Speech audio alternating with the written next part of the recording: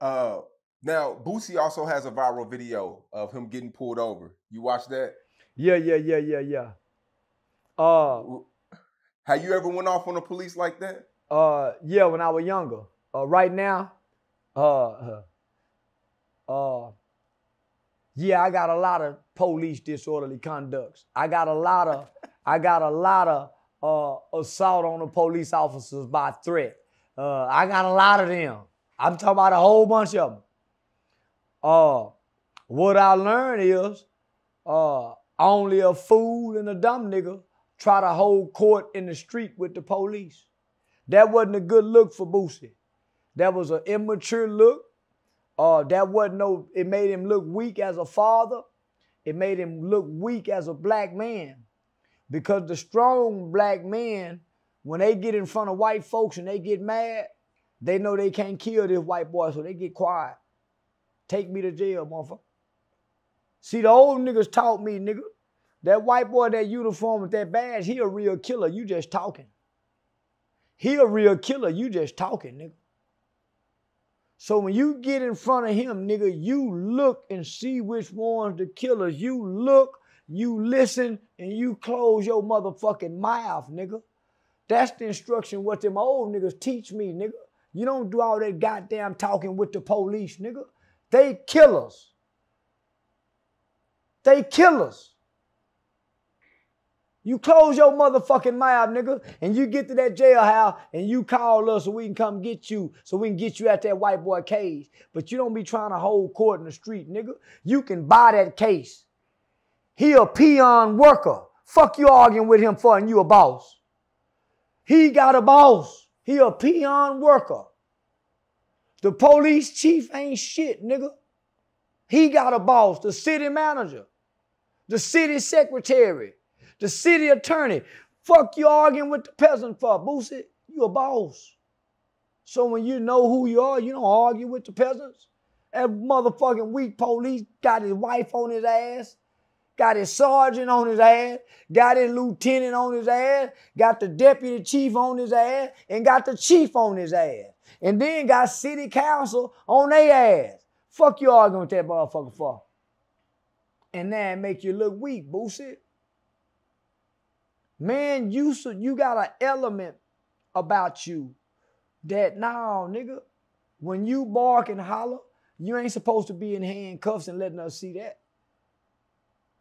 No, no, you supposed to go in like a boss, nigga. You're not upset, not in your feeling, but that's the emotional side of the black man. Yeah, yeah, that was that was an L on the black man part. And Boosie one I he, you know, he represent for the killer. All men don't none of the killer niggas argue with the police. No, no, no, no, none of the big dogs do that, my nigga. That, that was, that was little dog behavior. So I, I was a little disappointed in that. But hey, I used to do it, so I can't. I, yeah, I used to do it, but I was a lot younger. And I done done it during my old age, but I done done it playing the community activist in the name of, you know, uh, but not in handcuffs. I got to walk away. So I got to look strong. I got to cuss the motherfucker out and walk away like a bad nigga. When you go to jail, you don't look strong. Yeah, yeah, only when you can walk away and get in your car. And yeah, yeah, yeah. But when they got your ass and you got to go in that back seat and go there, you yeah, you don't look strong, baby. Yeah. You know, he said, it, I ain't gonna lie, that, this shit was funny though. Like, the shit he was saying was like, the, he said, the first white boy I see when I go in there, I'm a knocking him out. and he didn't do it though. You see, you can't you can't say that and don't do it.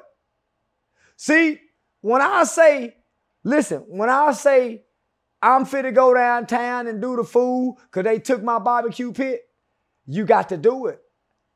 When you say I'm knocking out the third white boy and they get in there and they put you in there with seven white boys and you don't knock out no white boy, the white folk laughing now. See, we thinking it's funny because he tended to the police. But what they saying is he got in there and he let us thumbprint him. No, he didn't go in there and they took the handcuffs off, get restrained. He didn't knock no white boy out. That's what the old niggas trying to tell us. Nigga, you just talking. they'll kill you, nigga. You talking about when you get in there, you go knock a white boy out. You ain't knock down white boy out, nigga. They'll hang you in there like they done Sandra Bland. Shut up, nigga. You just talking. They get you in there, nigga, and put you in that isolation confinement and don't give you your insulin and your diabetic medicine. Who you go whoop, nigga? See, they play, nigga, they used to cut. Come on, nigga.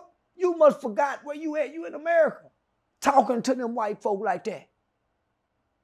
You must done forgot how they done niggas in Angola. No, nigga, don't pump our people up and you just talking. That's all I'm saying, Boosie. They don't give you your medicine, that extra meal that they give you in jail, so your insulin can stay balanced, homie. They'll fuck you over. Don't be talking this tough out here, nigga. Them killers, we just be talking. That's why the old niggas say, look, listen, and close your motherfucking mouth and get down there and let somebody know you down here, nigga, so we can come get you. But all that trying to hold court on the street, stop, nigga. Stop.